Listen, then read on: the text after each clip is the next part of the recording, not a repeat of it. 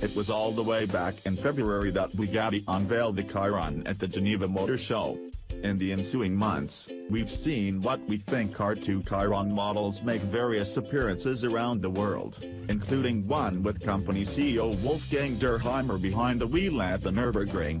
Now it's finally time for an official Chiron sighting in the States, courtesy of the Quail Motorsports Gathering in Monterey, California. And it's beautiful with its carbon fiber weave showing brilliantly behind a dark blue tint, this near-production Chiron looks fast just sitting still. And, with its 8.0-liter, quad-turbo W16 engine spitting out some 1,500 horsepower and 1,180 pound-feet of torque, it's fast when moving, too. Dürheimer apparently got the pre-production Chiron up past 200 miles per hour at the ring, but that's quite a bit short of its top speed of 261 miles per hour. Don't miss this chance to drink in all the details of the Chiron's North American debut at the Quail in our Harry's image gallery above. After all, you never know when a Saudi prince will snap it up. Stay tuned for plenty more from Monterey Car Week over the next few days days, it was all the way back in February that Bugatti unveiled the Chiron at the Geneva Motor Show.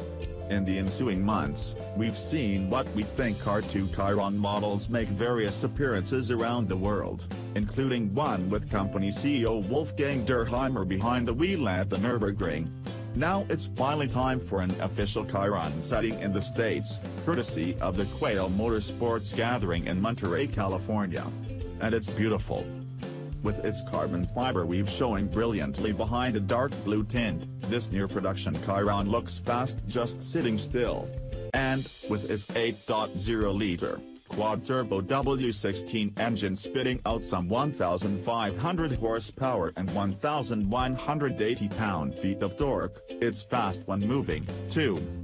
Dürheimer apparently got the pre-production Chiron up past 200 miles per hour at the ring, but that's quite a bit short of its top speed of 261 miles per hour.